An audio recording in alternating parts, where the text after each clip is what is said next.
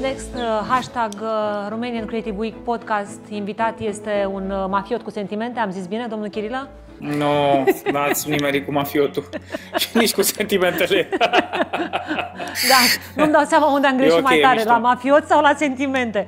Dar cum e asta cu Fully Ah, Bonbon? sunt- Am căutat toată săptămâna să comandăm nimic, domne, nu se există crema aia care ne face vizibil așa pe Instagram. N-am găsit-o. Mi-e frică că teasing-ul a depășit, uh, uh, adică mi-e frică că am fost prea convingători în teasing și acum lumea nu-și mai dă seama că e vorba de un cântec. Ce să spun, uh, îl am de câteva zile, uh, el uh, încă nu este lansat, noi l-am primit ca test, uh, Fully Bonbon. uh, Să știi că mi-am pus această Uh, pentru că problemă. noi ne-am, da, ma- ne-am pus problema asta, că acum lumea tot, tot timpul ne întreabă unde e crema. Uh, nu e mă o cremă, e un cântec. Crema era perioada de teasing, să vă deschidem ochii, să vă facem atenți. Na, acum vom vedea. Până la urmă, muzica, Bini învinge, muzica învinge. Și Păi- sper să-și dea seama lumea că nu lansăm o cremă. Deci ne-am întors la clasicele dialoguri în care explicăm ce a vrut arta să zică, da? Așa e cu creativitatea asta mare, trebuie să fie povestită. Ne întâlnim după un an și ceva de pandemie în care Vama a ieșit cu un clip nou în care se râde de la început și la, până la sfârșit, ceea ce era și cazul, că eram toți ușor cam uh, uh, căzuți în depresie, pe care l-ați tizărit, ca să zic așa, l-ați anunțat, explicând cum, cum că veți lansa un produs comercial. Zi tu mai departe povestea, că sigur mai e lume care încă nu știe despre ce e vorba. N-a cumpărat încă clipul ăsta de la voi. Bine, noi în pandemie am mai tot lansat. În, în iunie am lansat chiar cântecul Pandemie, care poate fi găsit pe contul nostru de YouTube, Vama Music, și acolo ne-am distrat la, cel puțin la fel de tare ca la Fully Bonbon. Adică am mâncat mici prin masca găurită. A fost o filmare cu Grey, Octav Gheorghe și Tudor Lucaciu, echipă care s-a refăcut și la filmarea Fully Bonbon, unde am adus un tribut uh, muzicii disco din anii 80 uh, și uh, mai ales VHS-ului. Irina Nistor ar putea să vorbească mult despre clipul nostru, pentru că, iată, folosim formatul, celebrul format VHS. Uh, Tudor Lucaciu a cumpărat o cameră de pe OLX, un Panasonic M10, o cameră care, bineînțeles, că nu are expunere manuală, drept pentru care a trebuit să umple uh, apartamentul ăla cu un camion de lumini ca să echilibreze umbrele cu luminile. Uh, și astfel ajungi să filmezi cu un VHS și te costă mai mult decât dacă ai filmat cu un Red Alexa sau cu un Red Epic sau cu Alexa sau cu whatever. Dar oricum trebuie să o facem pe Irina atentă, că eu nu știu dacă ea a observat, dar e momentul să se trezească că se întâmplă lucrurile astea într-o epocă în care chiar nu e cu ochii în patru, că ați încercat formatul de la Birdman, da? Că ați avut one shot. A fost o filmare din aia care a început într-un colț al clipului și s-a terminat la final. Aceste rafinamente din ziua de astăzi uh, nu mai sunt decât pentru cunos- cunoscători. Cine mai înțelege cât de complicat este să sincronizezi niște haidamaci care nu sunt nici măcar actori, colegii mei, și să mergi cu camera, iar suava Alexandra Petrei uh, să-și facă loc printre acești demoni uh, muzicali. Dar uh, ca să revin la întrebarea ta, deci bun, da, noi am făcut cântecul ăsta într-o sesiune live din festivalul digital pe care l-am avut în noiembrie, Vama Fest.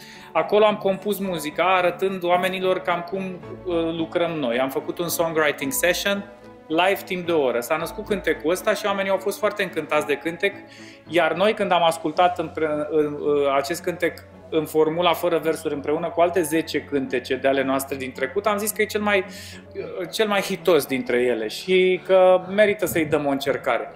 I-am dat o încercare, pe mine mă, mă, mă cam bântuia de mult uh, faza asta că social media s-a stricat un pic, adică Instagramul când a debutat era viața mea, așa mi se, mi se părea de mișto să-ți pui fotografii, să um, te uiți la ce fotografii pun alții, fie că, că sunt instant, fie că sunt arții, fie că sunt uh, alte lucruri, dar publicul a ajuns un om, numai unul nu mai e influencer. Toți suntem influencer în viața noastră, toți vindem ceva, toți cum devine una mamă automat e și specialistă în puericultură, zice "Uh, iubirea mea, n-am crezut, n-am crezut că poate să fie atât de special, vă spun, tot ce știam despre iubire s-a redefinit. Ce trăiesc acum, nu știu dacă am să mai trăiesc vreodată și nici nu mai cred că e cel mai frumos moment când mă uit în ochii ei sau el, depinde ce a născut, în ochii ei sau el. După care la sfârșit hashtag Pampers Pure, H&M, Zara, cu ce e îmbrăcată la Hienă ce ești, hienă, invidiosule! N-ai vândut Pampers la timp și acum, uite, nu mai poți mai faci nimic, da? Au crescut copiii și ai ratat N-am momentul. vândut nimic. Da, n-ai vândut nimic. N-am vândut nimic la timp. La timp.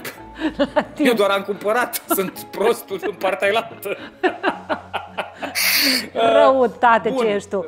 Băi, dar unde a ajuns? Lucrurile merg mai departe. Lu- Lumea vinde orice. Nu, numai, nu doar copiii se vând pe Instagram acum. De exemplu, uh, prietena mea are un magazin jucării uh, online uh, și primește mail-uri de la câte o fată, femeie, ce-o fi, care are și ea 3, 4, 5 mii de followers, zice am 4.000 de follower, 8.000 de follower și am un copil de 6 luni, pot să fac poză cu el și cu produsul în această locație, vă costă 500 de euro și da, se oferă ele cumva. Știi? Vezi, tot, proce- tot procedura, toată procedura s-a, s-a schimbat. Trăim în ni- niște vremuri care ne fac uh, pe unii dintre noi invidioși și vezi, ne uităm la ăștia cu câteva milioane de urmăritori, nu înțelegem exact uh, de ce ei au, dar trebuie să respectăm faptul că există.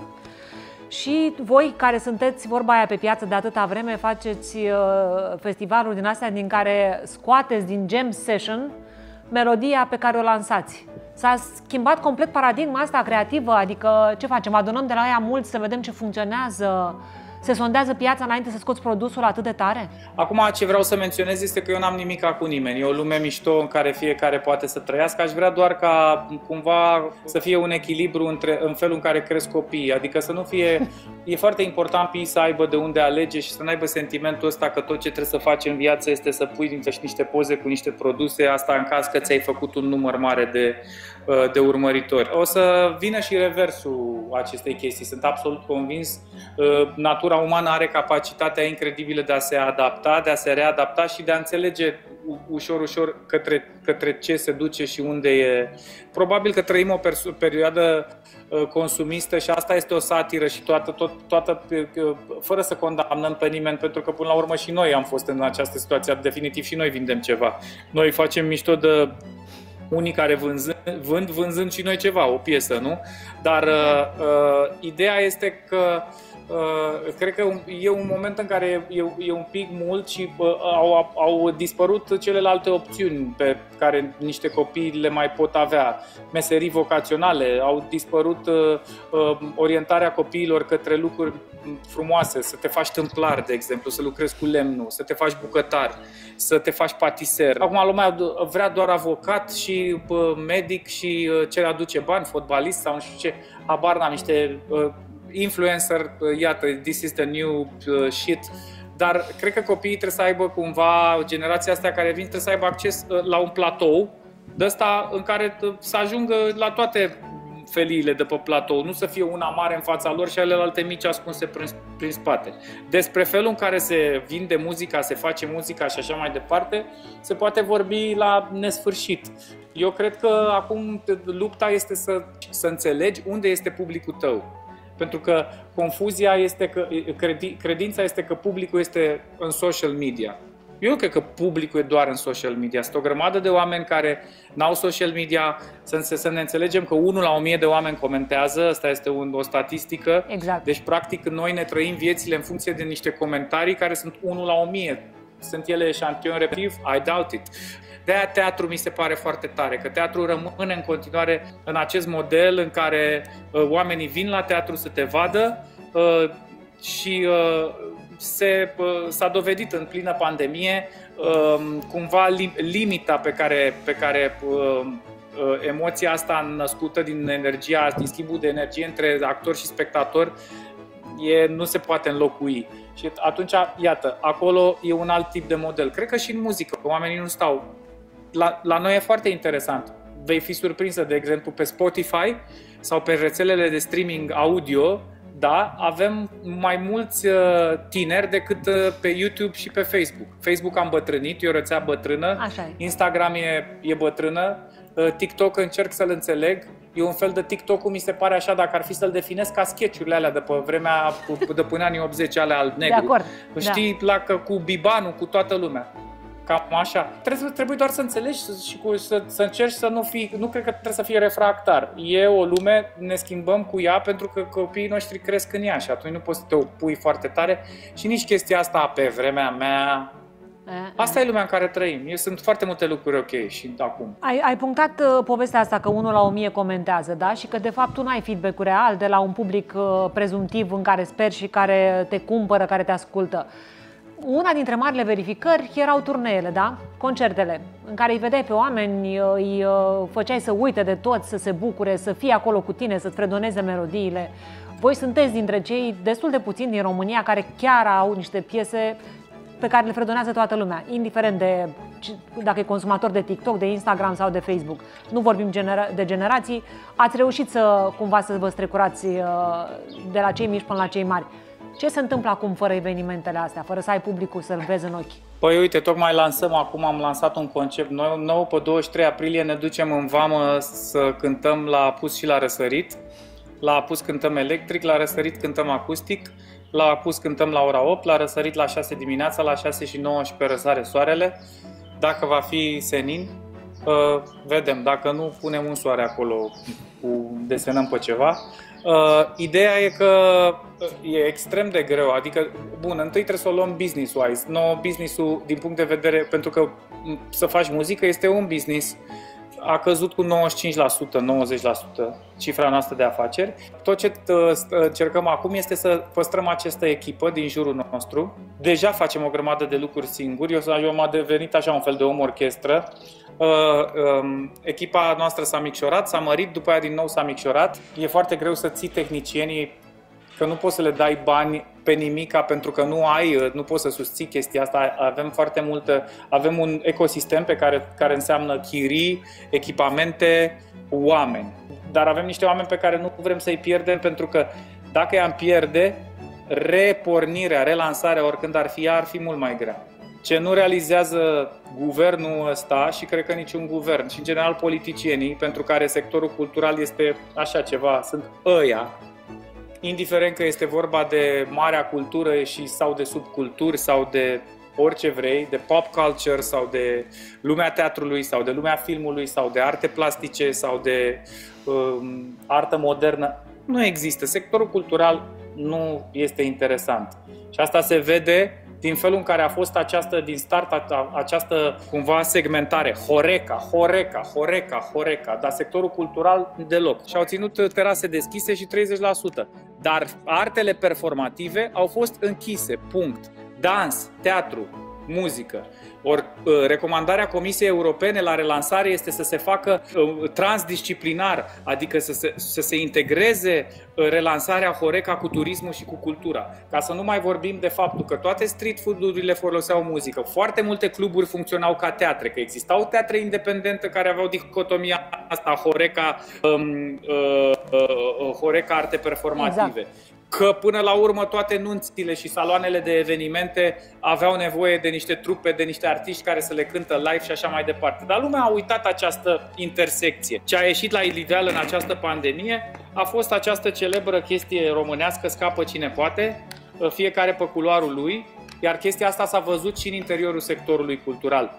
Din păcate, în diverse Uh, falii și uh, sectoare ale sectorului, ca să zic așa, diverse felii ale sectorului au încercat tot așa tot timpul să preseze, dar într-un mod așa, uh, eu mă lupt doar pentru mine, eu, când am intrat în toată chestia asta cu grupuri de lucru la guvern, eu în, în ceea ce mă privește, am privilegiul de a putea sta liniștit și a fi un șomer de lux, îmi, îmi mai permit încă. Dar nu toată lumea își permite asta și artiștii independenți nu își permit. Pentru asta am intrat în această bătălie în care eu consider că este inadmisibil să nu compensezi sectorul cultural pentru lunile în care i-ai interzis să muncească. Așa se vede din punct de vedere iar supraviețuirea este foarte mult în relație cu sponsorii noștri pe care îi valorizăm și îi apreciem acum mai mult decât uh, am făcut-o până acum, cu uh, cei care vor să investească în muzică. Sigur, iarăși aici suntem privilegiați, noi avem mai multă deschidere și suntem mai mainstream, să zic, decât artiști independenți care poate nu fac și n-ajung în vizorul unor uh, clienți care caută și ei cumva Uh, zona asta de what's in it for me și de return comercial. Dar cert este că de la Vama Fest, tot ce am făcut, festivalul ăsta digital, workshop-uri, tot ce am făcut din studioul nostru, Fully Bonbon, pandemie, două cântece solo pe care le-am lansat eu și așa mai departe, uh, ce am făcut pe platforma Vodafone, împreună mai puternici, așa mai... Exact. Toate astea mă, sunt în niciun fel de legătură cu statul. Asta trebuie să fie foarte clar pentru toată lumea. Ciudat este că, uh, odată, voi nu aveți nevoie de purtători de cuvânt. Sunt oameni ca tine care pot să-și uh, motiveze cauza mai bine decât orice companie de PR, odată. Și doi, sunteți oameni care adunați cea mai multă simpatie publică, da? Sunteți artiștii pe care iubește toată lumea. Și cu toate asta, simpatie ioc, toată lumea a văzut cum a reacționat când uh, ați încercat o acțiune din asta concertată împreună. Să spuneți că da, domnule, și până ne-a lovit pandemia, deși pare că ne vedeți la televizor bine machiați și, uh, și pudrați. Cât despre stat, nu mi s-a părut că s-a emoționat în vreun fel că voi ați exista și că ați putea să le faceți la nivel de imagine mai mult rău decât oricine altcineva. Stai că s-a emoționat Orban în timpul alegerilor, că m-a Așa. sunat și a zis că vrea să rezolve problema. Și? Când după scrisoarea aia. Și? Imediat s-a emoționat foarte tare. Și s-a cum s-a rezolvat? și grup de lucru. Așa. Și unde am ajuns? Suntem după patru luni, tot acolo. Bine, o să nu, zică lumea asta, domnule, că problema suntem... e alta, că pandemia nu ține de Orban. Suntem după mai mult de patru luni. Pandemia exact. nu ține de Orban. Promisiunile electorale țin de Orban și de uh, Câțu. Nu, pandemia nu ține de Orban, am înțeles. Auzi, Dar în momentul în care îți asumi că vrei să rezolvi această problemă, o rezolvi. Dacă vrei să găsești bani pentru acest sector, îi găsești. Mai ales că deja vorbim de ceva, de niște uh, venituri absurde de compensare. Adică Germania se află la al șaselea, a șasea tranșă de ajutor recurent, Franța la fel, ori noi nu am avut niciun fel de ajutor în, acea, în afară de acea indemnizație de drepturi de autor și că măsura 1 și măsura 2 și șomajul tehnic la care nu au putut să apeleze toți. Pentru că nu toți artiștii sunt organizați de asemenea manieră încât să, se, să fie eligibili la acele forme de ajutor. Despre asta vorbim.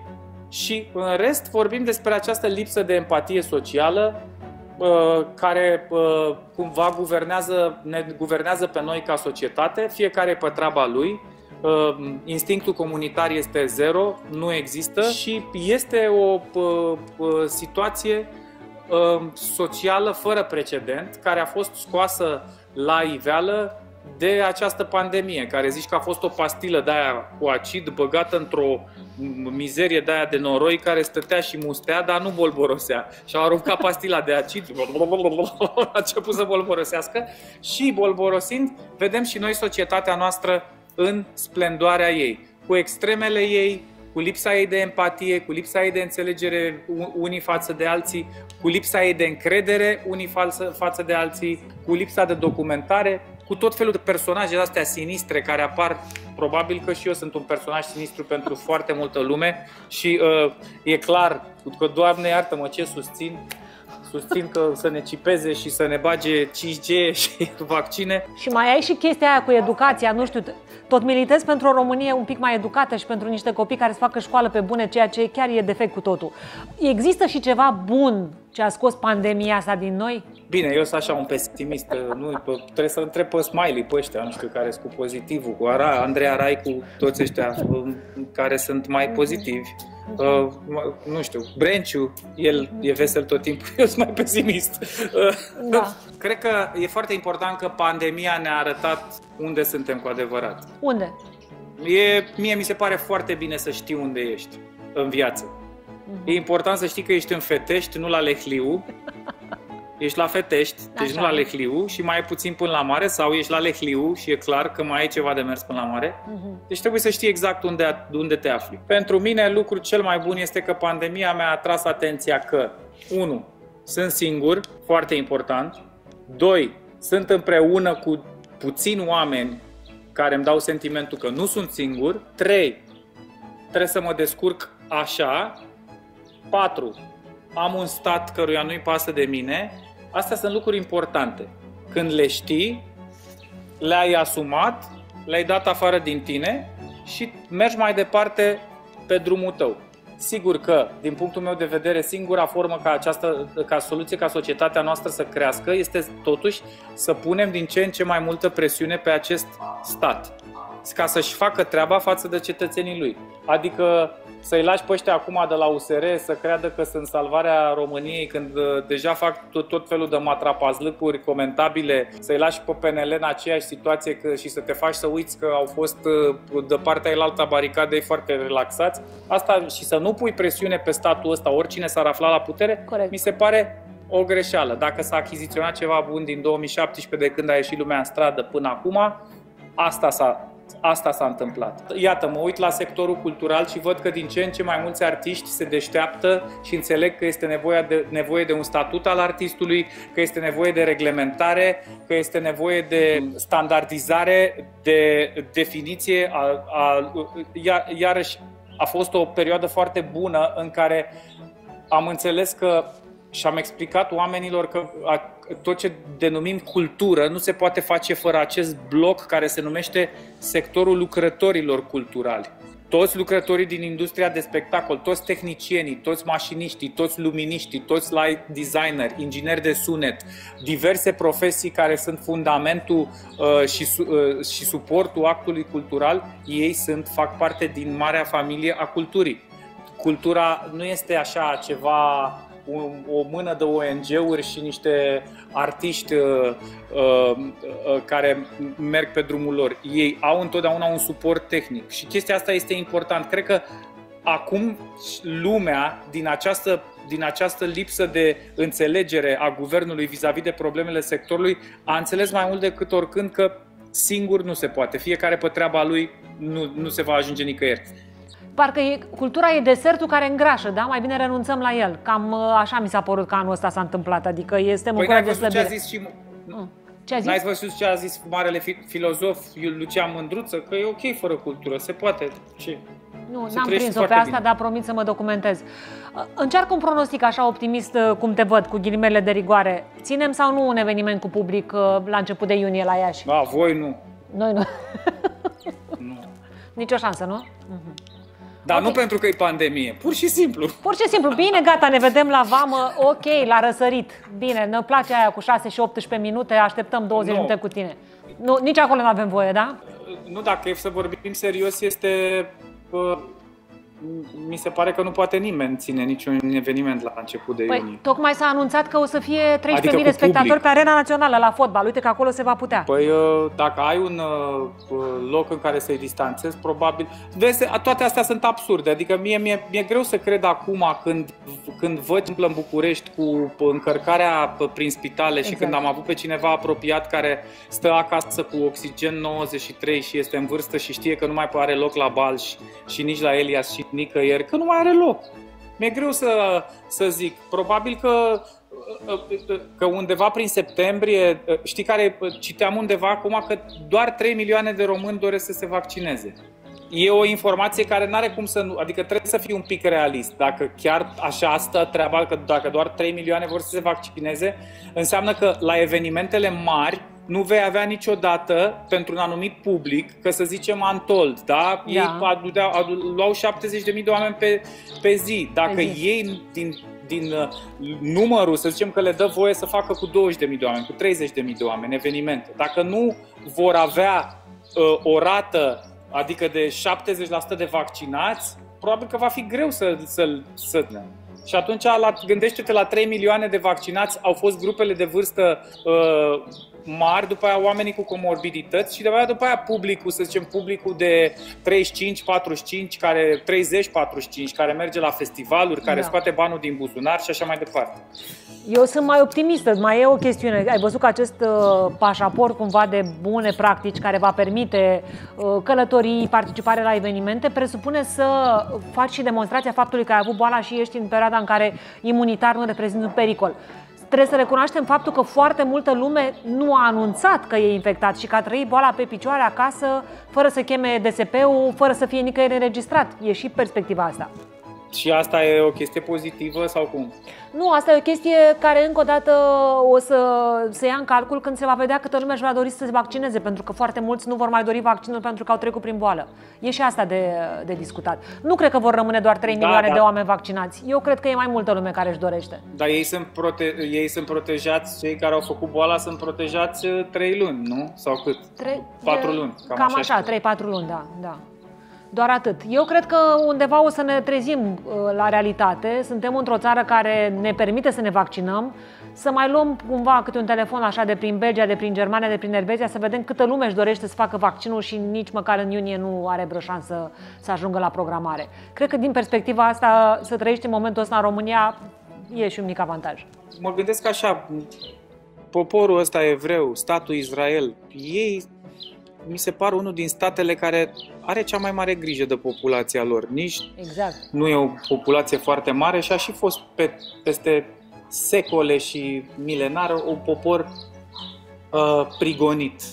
Ca să nu mai vorbim de Holocaust, să nu mai vorbim de uh, diverse de pogromuri, de uh, tot ce s-a întâmplat. Oare oamenii ăștia sunt nebuni, vor să-și asasineze propriul popor?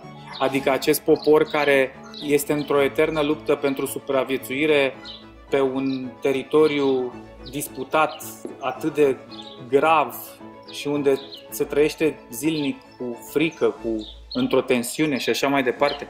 Oamenii ăștia au vaccinat peste 60%, cât 80% din populație.